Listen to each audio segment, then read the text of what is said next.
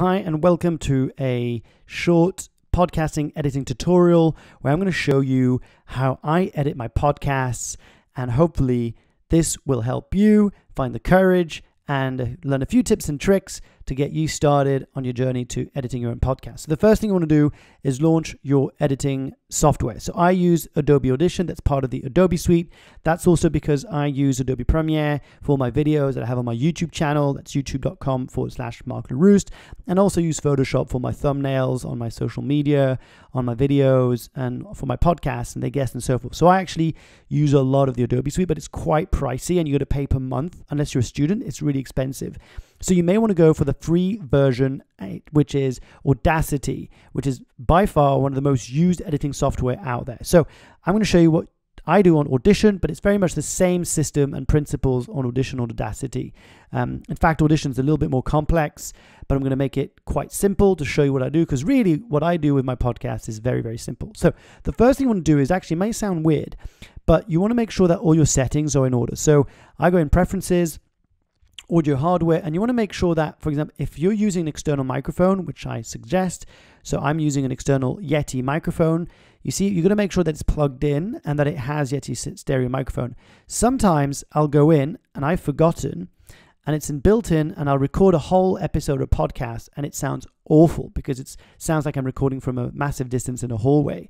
So you're going to go back in here and just 48000 okay so now that you have your editing software open um, I'm going to import my pre-recorded podcasting editing tutorial so that I can show you. It's a very short recording, but it's very much what I would do in real time. So I've actually gone ahead and made purposefully a few mistakes. So as you can see, there are a few blanks here.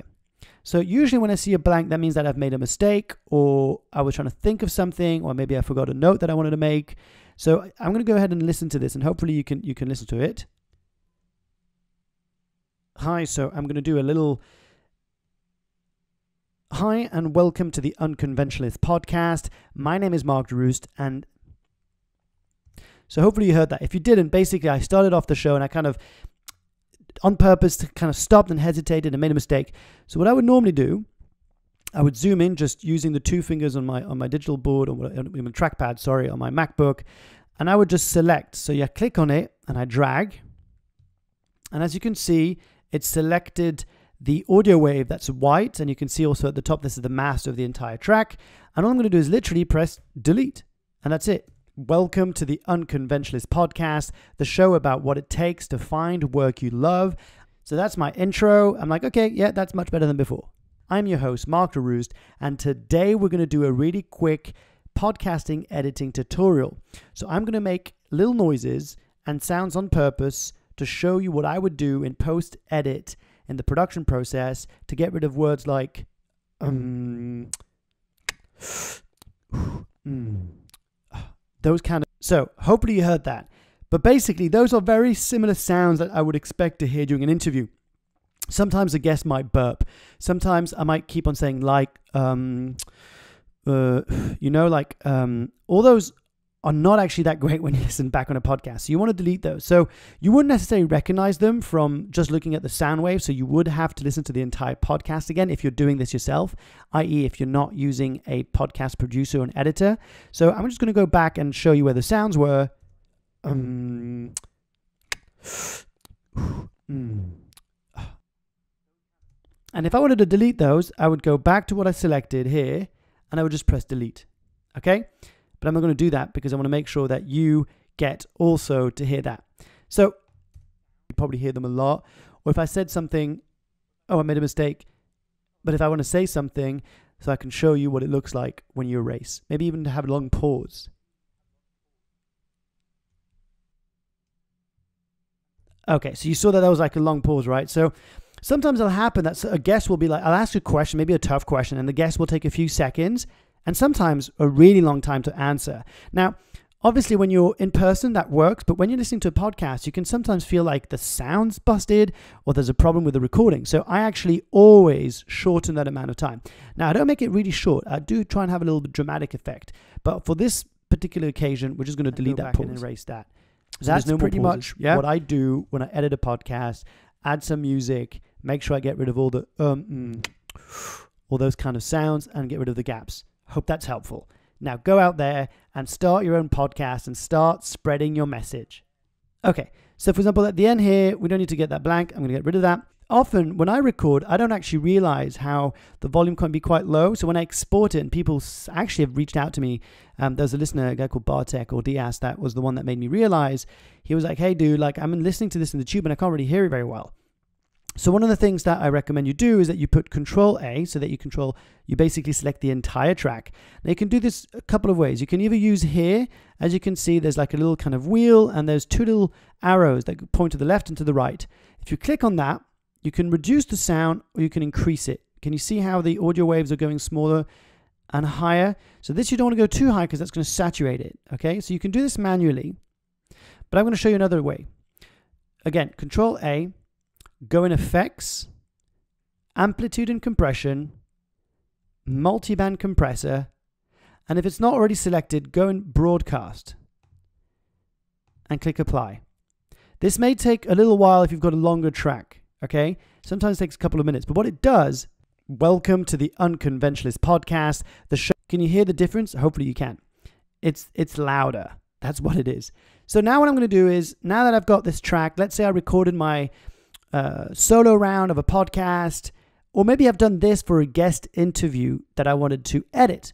The next step I want to do is add a multi track session. Okay, so we're going to call it uh, podcast editing tutorial V1, for example, if you want to call it that way. Okay. And then all I'm doing is I'm dragging and dropping the podcast interview that I prepared. So you can hear it here. Welcome to the Unconventionalist Podcast, the show about what it takes. Okay, so you've heard that now, right?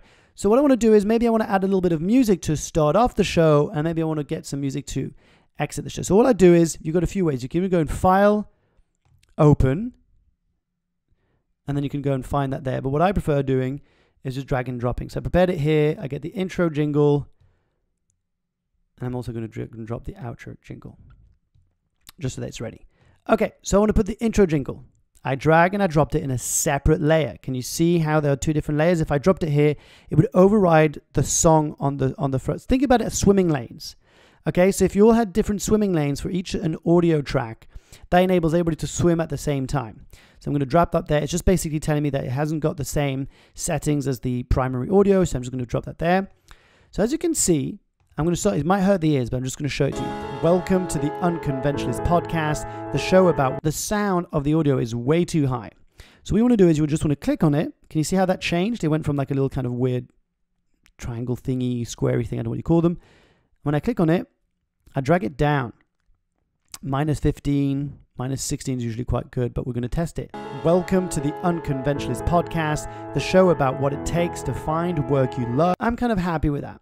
But what I want to do is, can you see how the audio wave here is kind of slow and then it gets quite high? I'm going to show you why. It picks sounds on purpose to show you what I would do in post edit and the production. So what I want to do is I want to make sure that my track of my podcast episode kicks in at the same time as the main audio of the song. There's two ways you can do about this. Okay, so the, the like the simple one is you take this and you just drag it approximately where it starts. Let's give it a go. Welcome to the Unconventionalist Podcast. Yeah, pretty happy with that. I'm just going to put this down a little bit lower just because I think it's a little bit too loud. Oops, sorry. That. Hmm. I know what happened, and I'll explain to this in a second. So you see how you've got a square there? Drag it down. Maybe 20, 26. Let's see what that sounds like. Welcome to the Unconventionalist Podcast, the show about what it takes. That works. Okay, so you don't want to have 15 seconds of intro music before you kick off your podcast. That's really, really long. So what I would do is I would have probably about five seconds, if that. Okay, we're just going to see what that sounds like. Welcome to the Unconventionalist Podcast. But now you want to have a bit of a dramatic effect. You don't want to just start off on this kind of soundtrack that doesn't really feel like it's supposed to start there. Welcome to the Unconventionalist Podcast. Did you hear that? So what I do is you want to zoom in a little bit by using the trackpad. I just like if you were going to zoom in for a photo on your, on, on your iPhone or on your phone. And here's where it gets really, really exciting, but it's very easy. So look at the arrow and you see you've got a little cross at the bottom. when I press Command on my keyboard, can you see there's a little pen? When I'm on the line? Yeah. So I'm going to press Command, there's a little pen, and I'm going to make a dot here. It's just basically a marker. And I'm going to make another one right about where the music kicks off. And all I'm telling the track is I'm going to click again, not using Command, and I'm dragging it down. Can you see how it just changed levels? So what I'm telling the audio track simply is you're going to fade in. Welcome to the Unconventionalist podcast. The show that's it. That's as simple as it is. And the error I made before was in fact instead of just dragging down the entire track to a lower volume, I'd accidentally made a marker. That's why there was a bit of a funky um, process just before. Okay, so now I've got the intro music that I'm quite happy with. By the way, the, now that I'm doing this, I would do Command A or Control A to control the whole track, and I would just drag it all the way to the left. I would just, sometimes you want to zoom in just to make sure that it really is to the left, and it really is now. So as you can tell, welcome to the Unconventionalist podcast. That is usually what about, about, yeah, between three to five seconds is what I would probably do for a typical intro. But I don't want to have the whole song to play during the entire track, right? You don't want to have that. So, the show about what it takes to find work you love. I'm your host, Mark Leruste, and today we're going to do a really quick podcasting editing tutorial. So, right about there, I've kind of just done my intro jingle. This is the show about what it's really like to find work you love. And then I'm going to go usually into talking about what we're going to be talking about in the episode or what guest I've got on the show. And then I might give a few shout outs to the events I'm running, or maybe I'm launching a new accelerator, or maybe there's uh, a media opportunity that was in, or something like that. And then about here, what I'll do is, again, I'll put command, I'll click, and then I do this very roughly, so you can be way more precise than I am. And then I'll be, okay, about, you know, maybe get five, ten seconds of fading out. Did exactly the same process. Command, clicked on the song, did it again there, and then clicked on that marker and just dragged it down. And now listen to what it does. So I'm going to make little noises and sounds on purpose to show you what I would do in post edit in the production process to get rid of words like um. So did you see how the sound of the music totally disappeared? So what I do is when I'm dragging my mouse towards the end of the track, as you can see, it changes, right? From like a little cross to like a red, weird shape. so you basically click and you just drag it and that's it. Oop, no, the reason why that happened is because it was still control A all the tracks.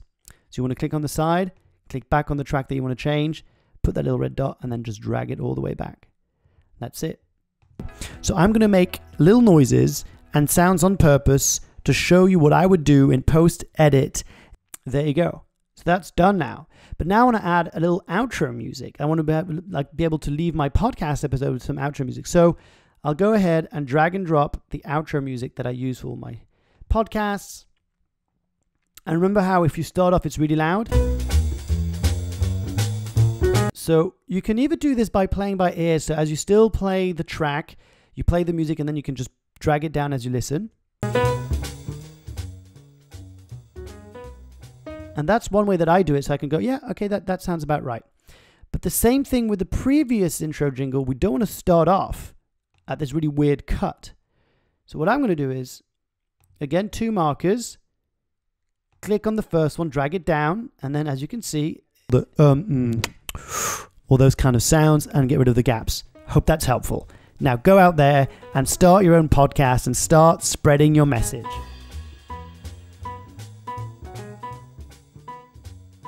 Yeah, so that's that's quite good. I think we can make it a little bit louder. I'm going to show you something that I do quite often. So when I say my last words on the outro part of my jingle, I'll add a second marker, very close to the one I've done before and then I go quite high. And you're going to see what happens.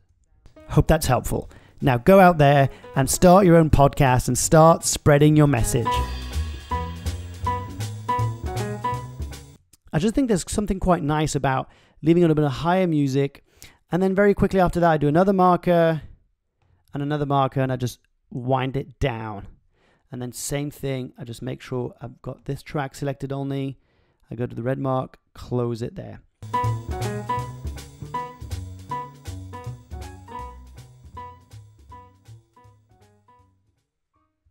And there you have it. That's it. That's how I edit podcasts.